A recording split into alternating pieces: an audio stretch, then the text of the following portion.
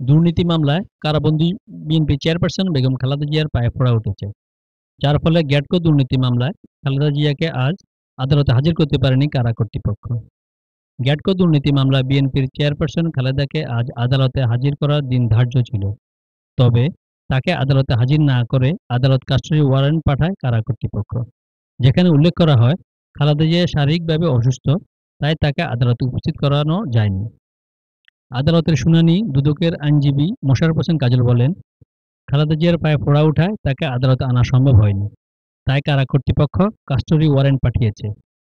তিনি আরও বলেন, খালেদা জিয়ার অনুপস্থিতিতে মামলাটির অভিযোগ গঠন শুনানি করা যেতে পারে। তার কারণে মামলাটির অভিযোগ গঠন শুনানি হচ্ছে না।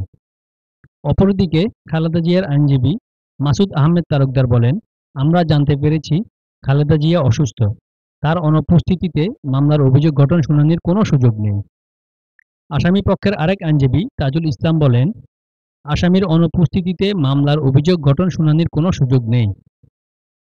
উভয় পক্ষের শুনানি শেষে আদালতের বিচারক দিলদার হোসেন বলেন, হাইকোর্ট নির্দেশনা দিয়েছে মামলাটি ছয় মাসের মধ্যে নিষ্পত্তি করার জন্য। চব্বিশ জানুয়ারি মামলাটির অভিযোগ গঠন শুনানির দিন ধার্য করা হলো। ওই দিন সকল আসামির উপস্থিতি বাধ্য- বাধ্যতামূলক। এর আগে দশ জানুয়ারি খালেদা জিয়াকে কারাগার থেকে আদালতে হাজির করার জন্য প্রোডাকশন ওয়ারেন্ট জারি করেন পুরান ঢাকার আলিয়া মাদ্রাসা মাঠে অবস্থিত ঢাকার বিশেষ জজ আদালত তিনের বিচারক আবু সৈয়দ দিলদার। ওই দিন মামলার অভিযোগ গঠনের দিন ধার্য ছিল। তবে আসামি পক্ষের আইনজীবীরা সময়ের আবেদন করেন। অপরদিকে দুদকের আইনজীবী মোশাররফ হোসেন কাজল সময় আবেদনের বিরোধিতা করেন।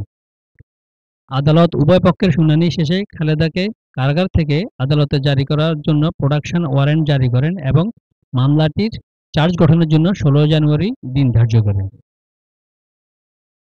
জাভেদ আল মাহমুদ একাত্তর বাংলা নিউজ ডেস্ক।